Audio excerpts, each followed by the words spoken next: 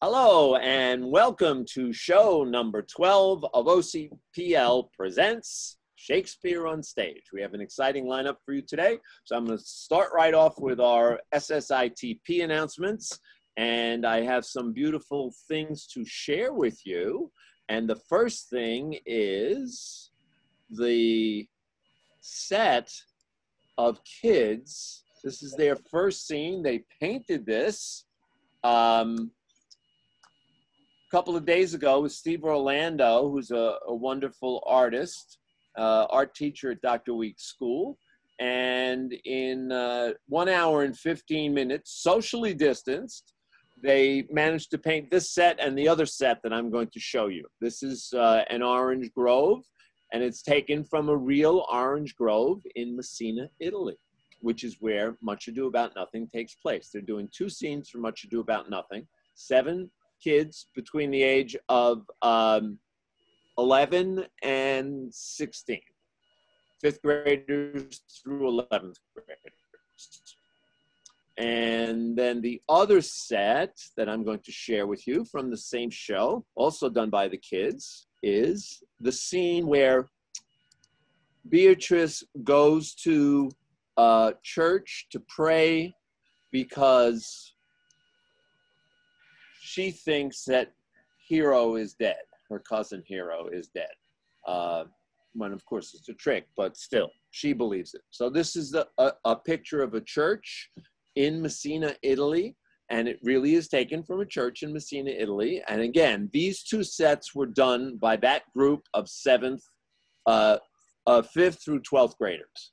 Uh, and it's just fabulous. Yeah, thank you, thank you very much. Fabulous stuff my hat's off to Mr. Orlando. He's he's so talented, and the kids are so talented, and uh, it's it's a great thing. The show is tomorrow. Everybody can uh, can pray to the God of their choice for no rain for tomorrow for two o'clock, so we can do the show. Uh, we already practiced to do it in the rain, just in case, under two tents, and have the audience with umbrellas. But uh, we hope not to do it that way.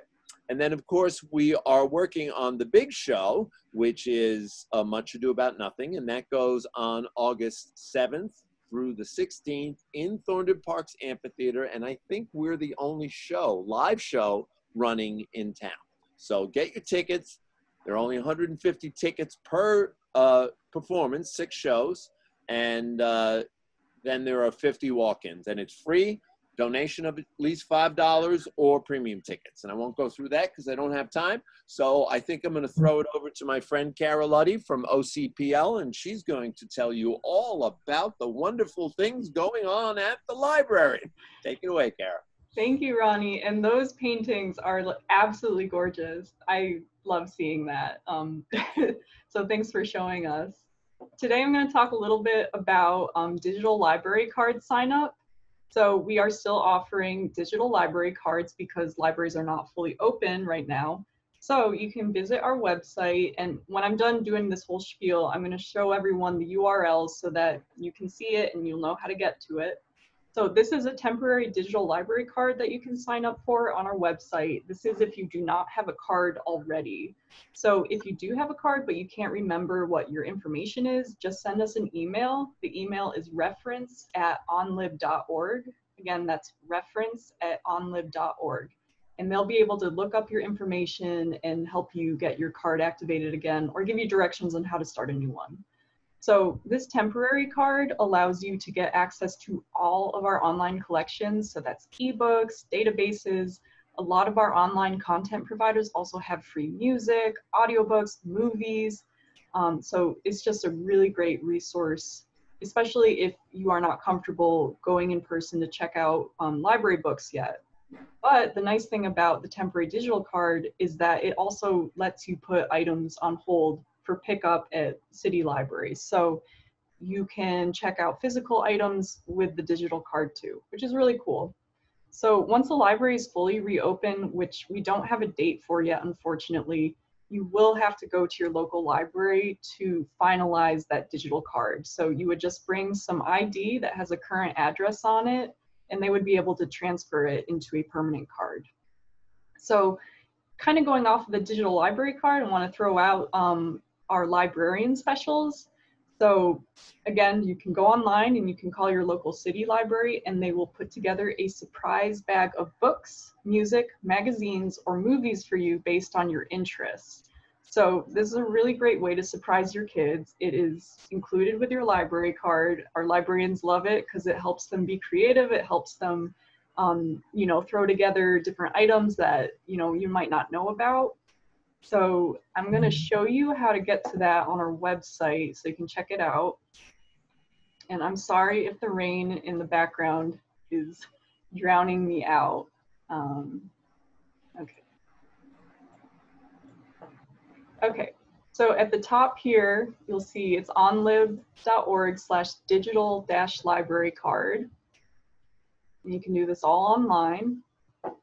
And then for if you do not want to call and you want to place your librarian special order online, you can go to onlib.org slash librarian dash specials. So it's super easy. Um, check it out. And if you have any questions, throw a comment below and I'll get back to you. So that is my OCPL update. And I'm all done.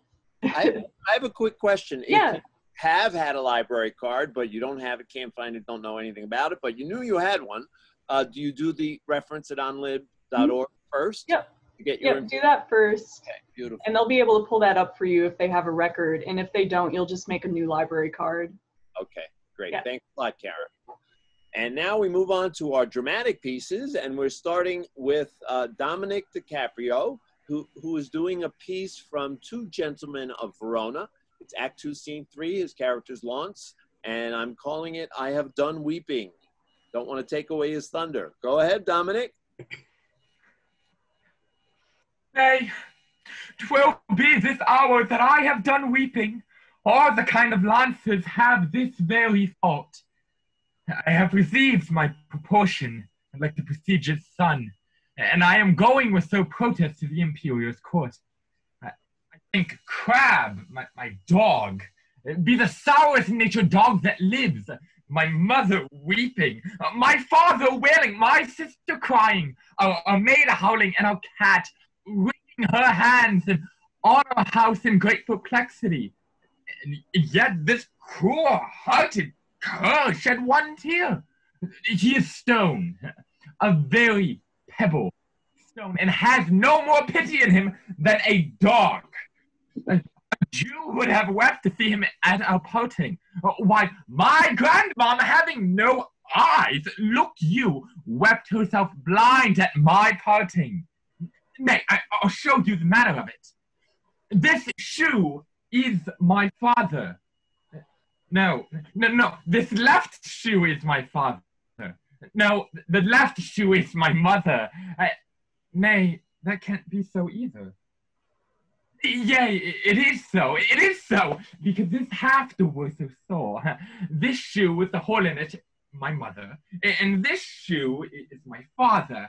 A, vengeance on it. And, and mm. there's a, staff to be my sister. Staff to be my sister. And, and, and this hat is man, a maid. And I am the dog. No, no, no. The dog is himself. And I am the dog? Wait, the, the, the dog is me, and I am myself, and I, I, so I come to my father. Uh, father, your blessing. Now should not the source a word for weeping, and now I should kiss my father. No, well, he weeps on. Uh, so now I come to my mother. Oh, that she could speak now, uh, like a wood woman. Well, I kiss her. Why, there it is.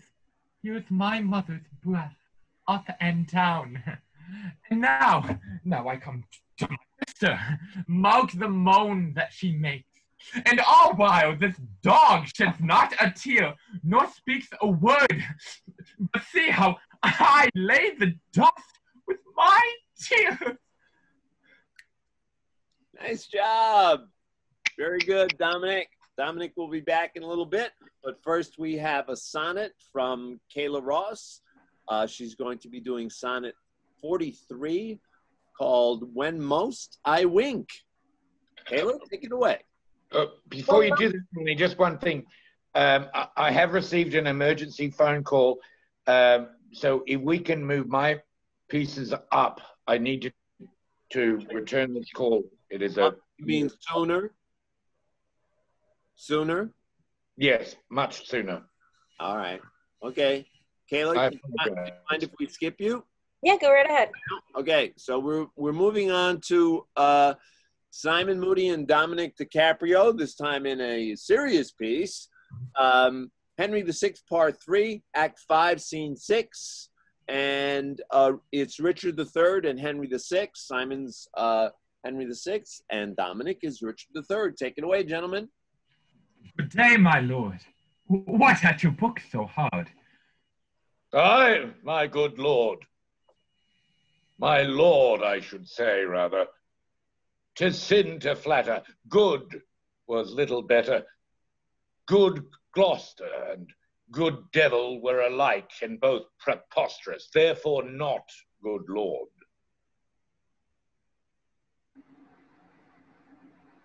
Must confer. So flies the reckless shepherd from the wolf. So first the harmless sheep doth yield his fleece, and next his throat unto the butcher's knife. What scene of death has Roscius now to act? Suspicion always haunts the guilty mind. The thief doth feel each bush an officer. The bird that hath been limed in a bush, with trembling wings, misdoubteth every bush. And I, the hapless male to one sweet bird, have now the last fatal object in my eye, where my poor young was limed, was caught and killed. Why, what a peevish fool was that of Crete, that taught his son the office of a fowl. And yet for all his wings the fool was drowned. Aye, heedless. My poor boy Icarus, thy father Minos, that denied our course, the sun that seared the wings of my sweet boy, thy brother Edward, and thyself the sea, whose envious gulf did swallow up his life. Uh, Kill me with thy weapon, not with words. My breast can better brook thy dagger's point than can my ears that tragic history. Wherefore dost thou come? Is it for my life? Oh, I am an executioner. A persecutor, I am sure thou art. If murdering innocents be executing, why then thou art an executioner. Thy son I'd killed for his presumption. Hadst thou been killed when first thou didst presume, thou hadst not lived to kill a son of mine. And thus I prophesy that many a thousand which now mistrust no parcel of my fear. And many an old man's sigh, and many a widow's, and many an orphan's water standing eye men for their sons, wives for their husbands, and orphans for their parents' timeless death, shall rue the hour that ever thou wast born. The owl shrieked thy birth, an evil sign. The night crow cried, a boding luckless time. Dogs howled, and hideous tempest shook down trees. The raven rooked her on the chimney's top, and chattering pies and dismal discord sung. Thy mother felt more than a mother's pain, and yet brought forth less than a mother's hope. To wit, an indigested and deformed lump, not like the fruit of such a goodly tree. Teeth hadst thou at thy head when thou wast born, to signify thou camest to bite the world. And if the rest be true which I have heard, thou camest. To... Hear no more! Die, prophet, in thy speech! For this amongst the rest I was ordained. Aye, and for much more slaughter after this. God forgive my sins and pardon thee. What? Would the inspiring blood of Lancaster sink into the ground? would have thought it had mounted. See how my sword weeps for the poor king's death. Oh, may such purple tears always be shed from those that wish the downfall of our house. Any spark of life yet be remaining, down, down to hell, and say I sent thee thither. I, that has neither pity, love, nor fear. Indeed, 'tis true Henry told me of, for I have heard his mother say, I came into this world with my legs forward. Have I not reason, think ye, to make haste and seek the ruin that unserve our right?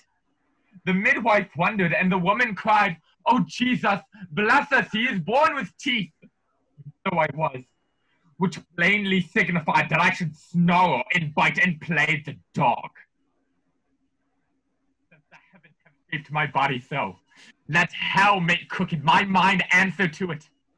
I have no brother, I am like no brother, and this word love, which great beards call divine, be resident in men like another, and not in me. I am myself alone.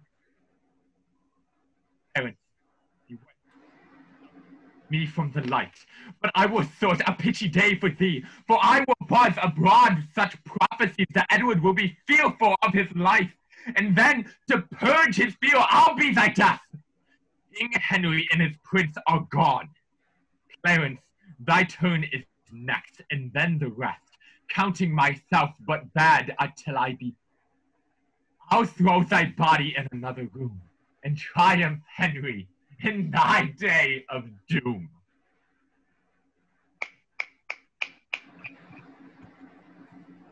Thank you. And now we'll move on to your other one, Simon. Right, and then I can come back for the Okay. trivia. Uh, all right. We have um, Simon doing the comedy of errors, Antipholus. I'm calling it Deep Shame and Great Indignities. Take it away, Simon. My liege, I- am advised what I say, neither disturbed with the effect of wine nor heady rash, provoked with raging ire, albeit my wrongs might make one wiser mad. Uh, this woman locked me out this day from dinner.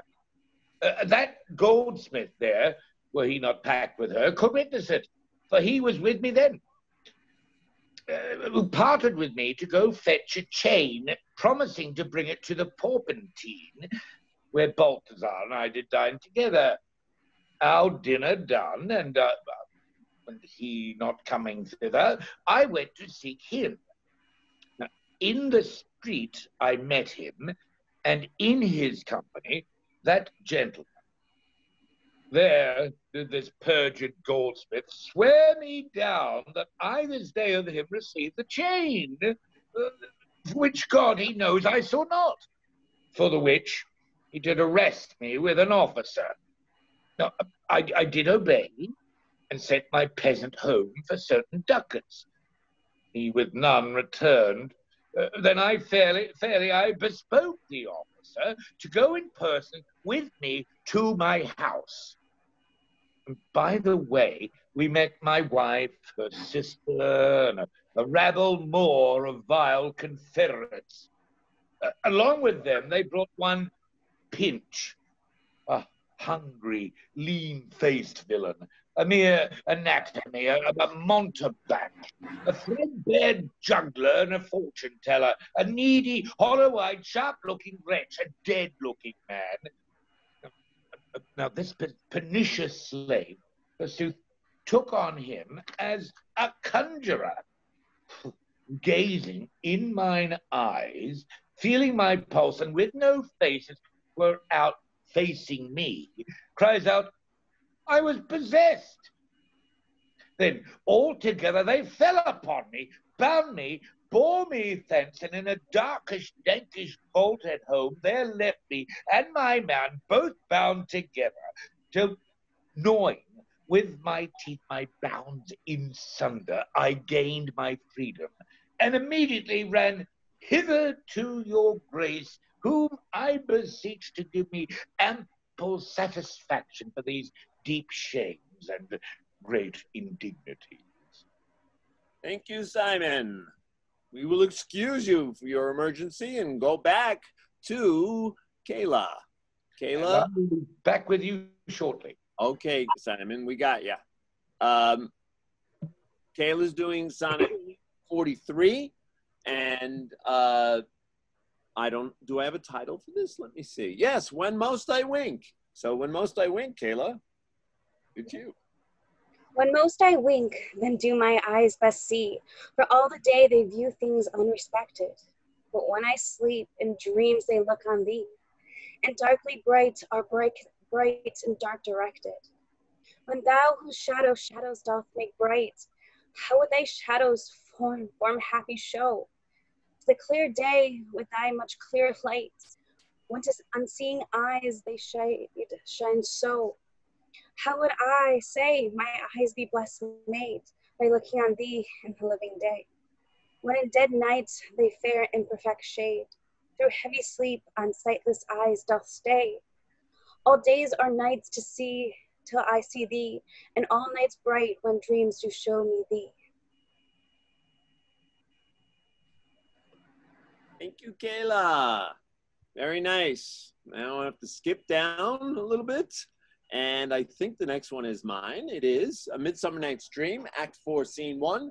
And I'm doing two pieces from the same uh, play, but at different times. We have other people in between. So uh, this one is Oberon. Welcome, good Robin. Seest thou this sweet sight?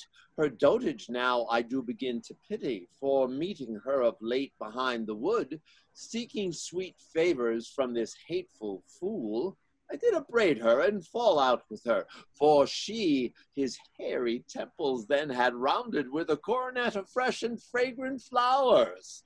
And that same dew, which sometime on the buds was wont to swell like round and orient pearls, stood now with pretty flowerets eyes, like tears that did their own disgrace bewail, when I had at my pleasure taunted her, and she in mild terms begged my patience. I then did ask of her changeling child, which straight she gave me, and her fairy sent to bear him to my bower, and in fairyland.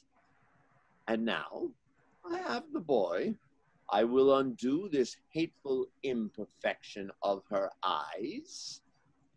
And, gentle Puck, take this transformed scalp from off the head of this Athenian swain, that he awaking when the other do may all to Athens back again repair, and think no more on this night's accidents, but as the fierce vexation of a dream. But first, I will release the fairy queen be as thou was wont to be, see as thou was wont to see.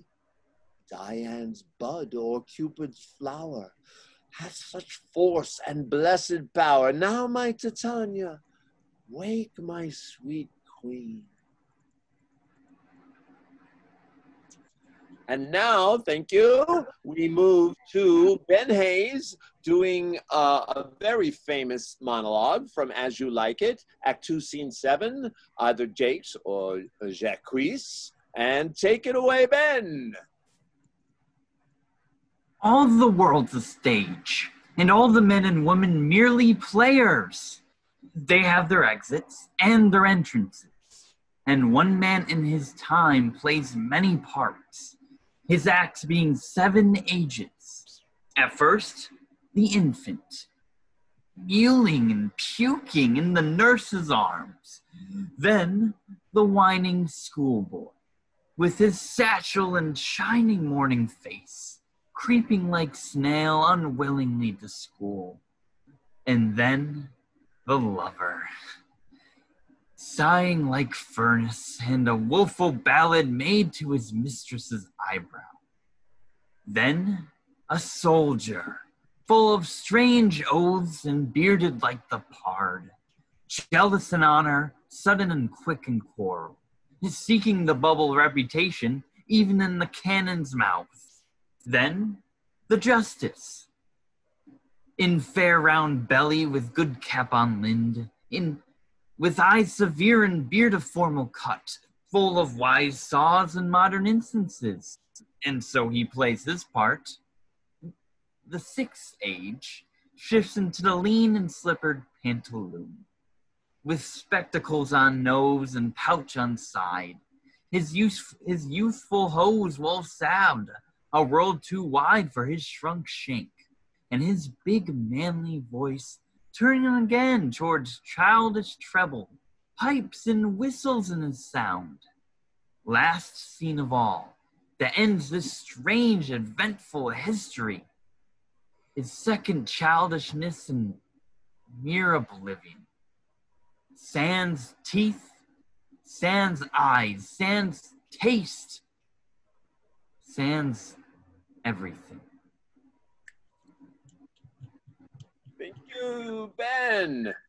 And now we move on to my second piece from the same show and the same act and scene for scene one. And this one is, instead of Oberon, Bottom. And it's called Bottom's Dream. When my cue comes, call me and I will answer. My next is Melfair Pyramus. Hi ho, Peter Quince, flute, the bellows mender, snout the tinker, starveling.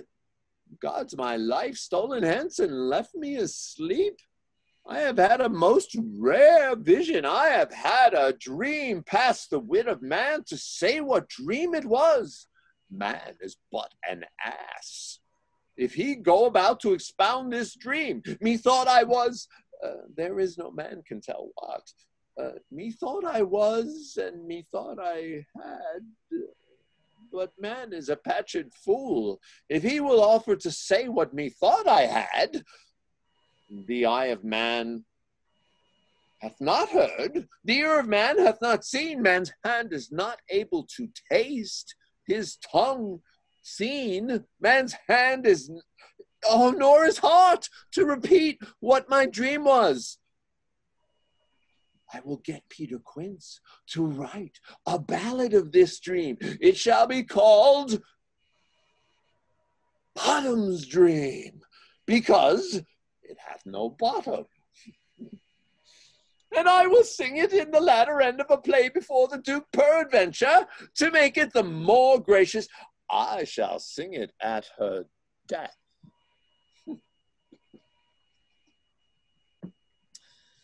Thank you. And now we are on to our trivia part. Uh, I do have trivia questions for you, so let me see if I can stump the panel here. Um, okay, there is a novel coming out in, I think it's next week. I've already ordered it, and it's about one of Shakespeare's children. It they've no one's ever written a novel about Shakespeare's children. So this is very unusual. Uh, what is the name of the novel, which is the same as the name of one of Shakespeare's children? Who's got an answer to this one? Anybody? No? Dom, what about you, Dom? No, Dom? No idea. No idea. Dara? I I haven't been keeping up with the latest releases, so I thought the library person would have this one. Ben? Oh, is it Elizabeth? I'm trying to think of her his No. name. Not it. Cayla? I, And the name is, which is almost the title of one of his plays, Hamnet. H A M. Oh, I did know that. That was his son who died. And this lady has written a novel about him. So it's, I believe it's coming out next week. I don't remember the name of the author at the moment. I'm checking Okay. the catalog now, and we will have it soon. Soon. I well, Yep. I already ordered it from Amazon. Oops. Mhm. we'll have Uh, it at Central, Manlius, and Solvay. Cool. See that? The library is a is a great resource. You don't have to go to that big thing and buy it. You can get it for free at the library, right? Yeah. Okay. So now the next one is, and I think this is going to be our last one. Um, I have a quote for you. The person who said it would be very hard, but then I have a question about it. So the quote is You need a good story in the globe. If you're not wondering what's going to happen next, you become aware that you're standing or sitting on a bench. Who said that? Famous, current, alive, television and stage actor. Patrick Stewart. Shakespeare actor. Patrick Stewart. Nope, not Patrick Stewart. Good guess, though. Can you hear me, Ronnie? I can hear you, Simon. How could I not hear you?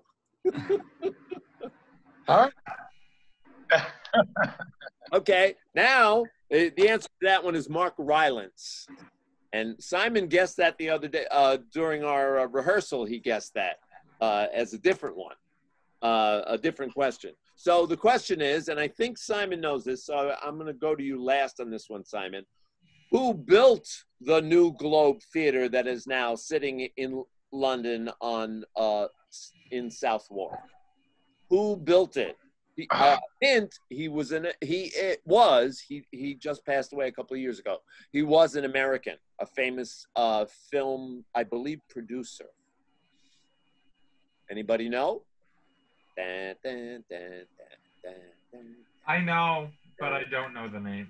You know, but you don't know the name. Okay, Yeah. Simon, we're gonna Yeah. go go to Yeah. you because you are our resident uh, Shakespeare expert from Rochester. All right. Oh, I've just, you just,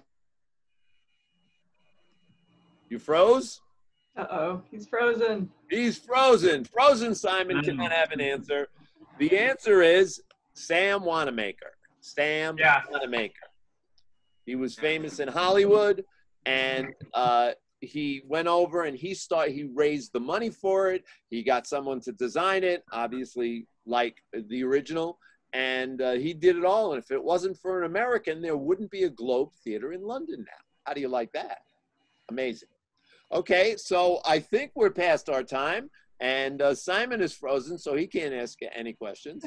so uh, we will uh, wrap it up there and say, see ya. We're going to take a two-week vacation, uh, and we will be back August uh, 6th, which is the day before Much Ado About Nothing opens. So Yep. we'll see you in three weeks, uh, August 6th. We'll have a, a great show for you then. We have alternative shows coming for you.